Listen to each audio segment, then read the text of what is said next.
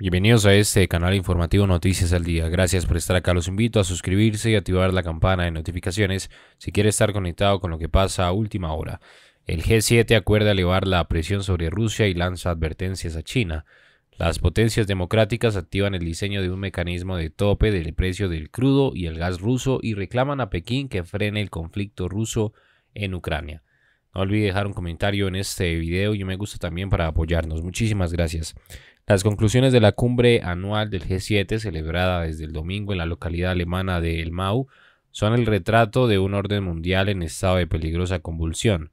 Los líderes de las grandes democracias industrializadas aprovecharon la cita para advertir de que seguirán imponiendo costes económicos inmediatos y graves al régimen de Putin y a la vez para tratar de afinar su estrategia ante el conflicto ruso en Ucrania.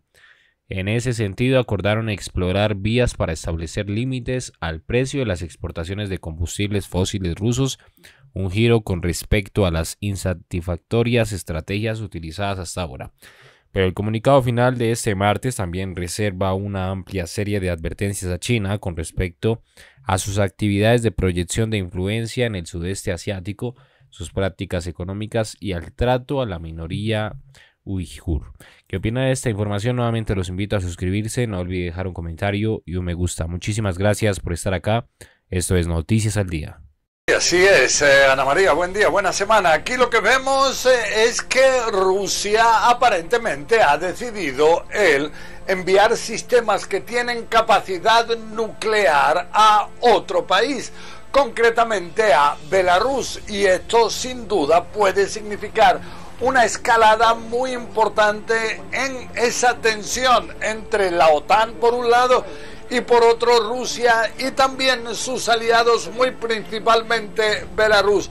Entonces, ¿qué es lo que ocurre? Este fin de semana hubo una reunión de Alexander Lukashenko, el presidente bielorruso, con Vladimir Putin en San Petersburgo. Y entonces lo que le dijo Lukashenko es que tenía que haber algún tipo de respuesta rusa a esos vuelos que cada vez se realizan más cerca de la frontera de Belarus con la OTAN y que se trata de aviones que pueden llevar armas nucleares. Entonces la respuesta de Putin fue no tienes de qué preocuparte, ya que os vamos a enviar en los próximos días, en los próximos meses más bien, eh, un sistema de misiles Iskander M, que son misiles especialmente sofisticados rusos con la capacidad de llevar armas convencionales, también llevar armas atómicas, eh, poder llevar lo que son misiles de crucero, misiles balísticos y esto se lo piensan entregar, dice Putin, al ejército bielorruso.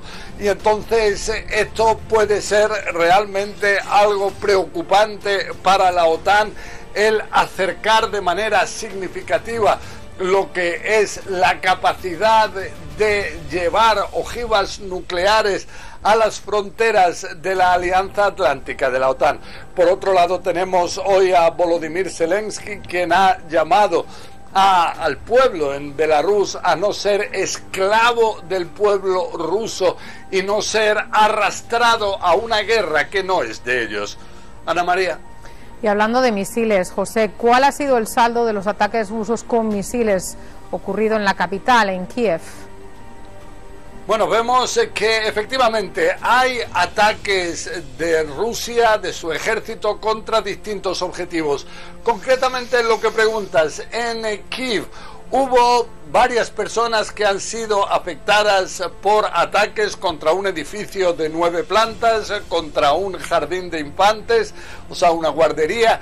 Una niña de siete años resultó herida en el ataque al edificio cuando estaba durmiendo. Una persona perdió la vida. Vemos también que hay ataques contra la zona de, de Chernihiv, contra la zona de Kharkiv, pero sin duda la actividad militar sigue centrada en lo que es el Donbass. Ya vemos este fin de semana Severodonetsk, que esta ciudad de la que tanto hemos informado en los últimos días, ya definitivamente cayó en manos del ejército ruso.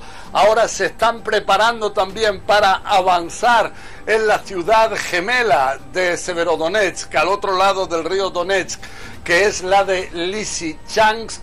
Y todo esto de alguna manera está creando ahora mismo avances rusos que pueden ser significativos y es por esto que sobre todo Volodymyr Zelensky, hoy también a los G7, ha urgido de la necesidad que tiene su país de recibir cuanto antes estos misiles sofisticados de artillería con los cuales puedan defenderse, puedan atacar también al ejército ruso en el interior de Ucrania comenzaron a llegar ciertos sistemas, los HIMARS, la semana pasada, pero es urgente, dice Zelensky, que sigan llegando estos eh, sistemas para poder frenar al ejército ruso.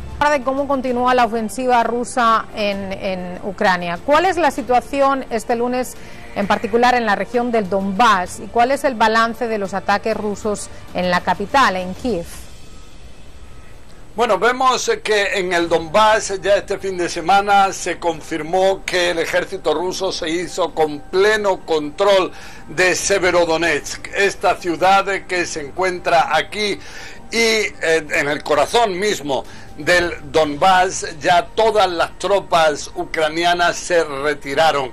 Ahora está por ver qué es lo que va a ocurrir con la ciudad gemela de Severodonetsk. Según dicen en el ejército ruso, en el Ministerio de Defensa, existe ahora una retirada caótica o intentos de retirarse de manera caótica de esta otra ciudad cercana a Severodonetsk, Tisichansk y entonces, eh, según dicen en Rusia, intenta impedir el ejército ucraniano esa retirada de sus tropas de la, de la ciudad. En cualquier caso, una situación muy difícil eh, para el ejército ucraniano en toda esta área del Donbass que cada vez más es central para el ejército ruso.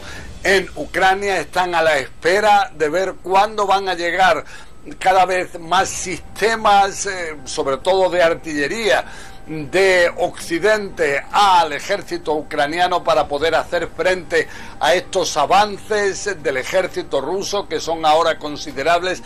Hay que tener en cuenta que hasta ahora dicen al menos los ucranianos que la diferencia, por ejemplo, en piezas de artillería en la zona del Donbass es por cada pieza de artillería que tiene el ejército ucraniano, Rusia tendría 10. Y entonces esto preocupa enormemente a Ucrania.